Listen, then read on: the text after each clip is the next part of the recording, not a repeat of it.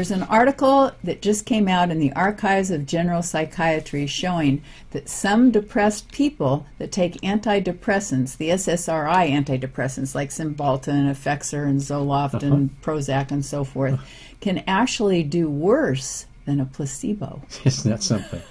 well, we know a study was done some time ago that looked at all the studies, published and unpublished, that had to do with SSRI antidepressants. And what they found was that there was no benefit to taking the drug over the over the antidepressant because the effects were the same. Yeah, I remember we reported a study that said placebo effect worked just as well, and also exercise. Exercise works better than, even better than placebo. And so it should be the first thing. And so what we should be doing in our patients who are depressed is putting them in exercise programs so that they could do that. And all it takes is an hour three times a week, and you get the same thing as an average dose of something like Prozac. Okay, now we listen to the ads on TV, especially there's one right now that's running on Cymbalta.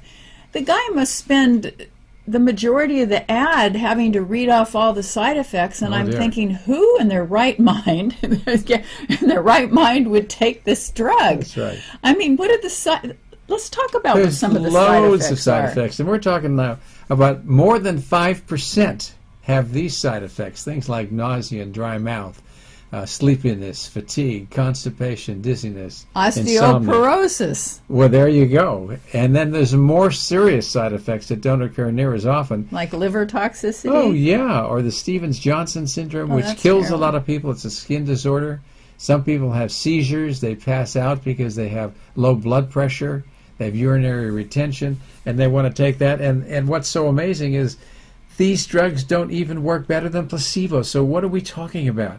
So now they've isolated in this study maybe 20% of the people who might do somewhat better than placebo. Is it worth doing all the things that we have to do with genetic testing to try and see if we can identify those people? So we just use it in them? Wasn't there also recently a test that showed a study that showed that when you told people that it was a placebo, that it still worked?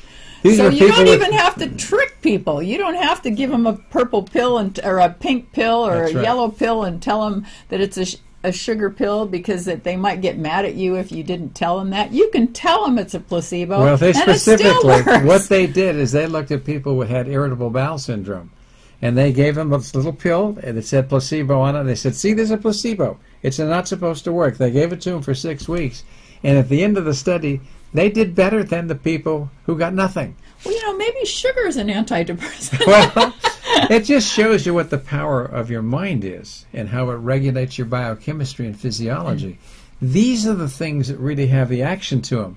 The pills all have side effects, and when you're using multiple amounts or multiple pills, you've got side effects that are going to occur that have never been studied because we don't do studies. And plus, if you're taking another drug, it can interact with that, and then sometimes you end up taking another drug for the side effects of that drug or that combination of drugs, and so it goes. All right, so basically, Oh, and it can also cause suicidal tendencies. small detail.